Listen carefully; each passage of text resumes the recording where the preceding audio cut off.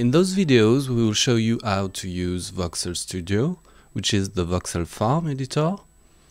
The videos are short, so don't hesitate to refer to them when you're stuck on a specific matter or jump to a particular subject. We will explain the basics, give some tips and directions, but also focus on how to properly build with this voxel engine. There are four different voxel farm licenses. The first one is the creator license, which allows you to build any terrain or structure you want in Voxel Studio. You can import your own textures and meshes, create your own tools for architecture, and build an entire scene made out of voxels.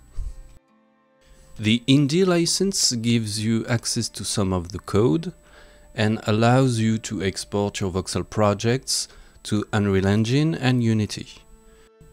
You can use the plugins provided for both engines and start creating your own game. The Pro license grants you more possibilities with the code and AAA license even more and custom services. When you install Voxel Farm, I recommend not to choose the Windows program file folders because Windows account permissions can cause little problems and bugs. Also, I recommend to use English as main language for your computer when using the Voxel Farm engine.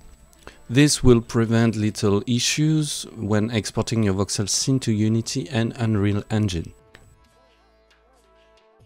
Once you have installed Voxel Farm, you have two icons on your desktop.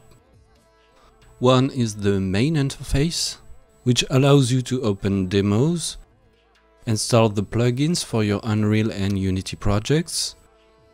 You can access to the Voxel Farm code, update and upgrade your engine, or simply open Voxel Studio. The other one is simply Voxel Studio, which is going to be our main tool in those videos for creating voxel scenes.